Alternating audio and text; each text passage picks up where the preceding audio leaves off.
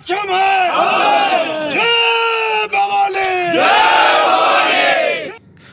छत्री समाज के लोगों ने बीजेपी कार्यालय का किया घेराव। मंत्री के माफ़ी मांगने के बाद भी लोग आक्रोशित। कहा, मंत्री का इस्तीफा ही एकमात्र विकल्प।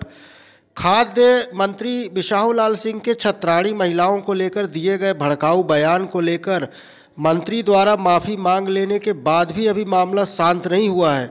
शहडोल में मंत्री के विरोध में आज छत्री समाज के लोगों ने भाजपा जिला कार्यालय का घेराव कर मंत्री को माफ़ नहीं करने पर अड़े रहे। विरोधकर्ताओं का कहना है कि माफ़ी मांग लेने, बस से बात नहीं बनेगी।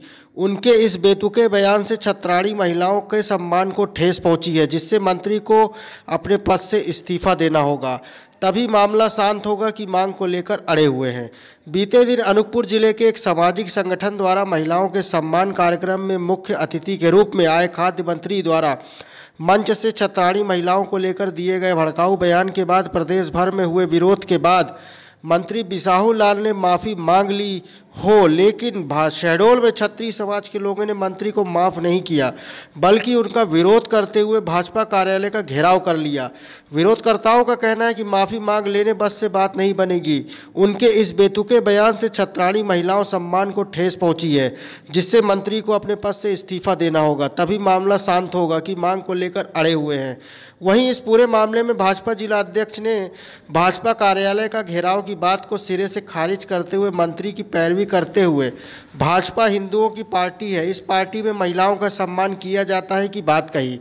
साथ ही उन्होंने छत्री समाज के लोगों द्वारा प्रदेश अध्यक्ष के नाम दिए गए ज्ञापन को ऊपर तक पहुँचाने की बात कही। बीजेपी कार्यालय का घेराव किया है। जी। देखिए हम लोग ने आज बीजेपी कार्यालय का घेराव इसलिए किया है कि जो बिसाहू लाल जी हैं वो मध्य प्रदेश के मंत्री जी हैं। जिस तरह से उन्होंने आपत्तिजनक बात क्षत्रिय समाज की क्षत्राणियों को कहा है, ये कोई छोटी मोटी बात नहीं है। और इस तरह की जो भड़काऊ भाषण उन्होंने दिया और आपत्तिजनक भाषण दिया, उसका हम लोग पुरजोर विरोध कर रहे हैं। दूसरी बात कि उन्होंने जो भी माफ़ीनामा मांगा ऐसा सुनने में आया है, लेकिन एक छोटे कमरे में बैठ करके और कहीं भी उन्होंने माफ़ी मांग लिया, ये बर्दाश्त के योग नहीं है। इस्तीफ़ा ही एक अंतिम विकल्प है। उनका इस्तीफ़ा ही एक विकल्प है, क्योंकि इस तरह के लोगों को हम लोग बर्दाश्त नहीं करेंगे। इसलिए हम लोग आए। छत्तीस समाज द्वारा भाजपा कार्यालय का घेराव किया गया था और ज्ञापन सौंपा गया था आप बताएँगे क्या? नहीं कोई घेराव नहीं किया गया था। और भारतीय जनता पार्टी तो हिंदू समाज की पार्टी है और हिंदुओं की पार्टी है और आप सब भी हमारे परिवार के सदस्य हैं। भारतीय जनता पार्टी में जितने भी भारत में रहने वाले हिंदुस्तानी हैं हिंदू हैं सब भाई भाई हैं। और उन्होंने कोई घिराव नहीं किया। उन्होंने हमारे प्रदेश अध्यक्ष जी के नाम से एक पत्र दिया है और एक खेद व्यक्त किया है तो उसके लिए हम लोग उनको प्रदेश अध्यक्ष जी को पत्र भेज रहे हैं। और जहाँ तक मंत्री जी का सवाल था तो उन्होंने शायद माफ़ी भी मांगी लिखित। और प्रदेश नेतृत्व के पास हम भेजेंगे, फिर उनके बाद उनका निर्णय है कि वो क्या करते हैं। और वो लोग जैसा बताएँगे तो हम अपने क्षत्रिय समाज के भाइयों को अवगत करा देंगे। कि प्रदेश नेतृत्व द्वारा ये किया गया है।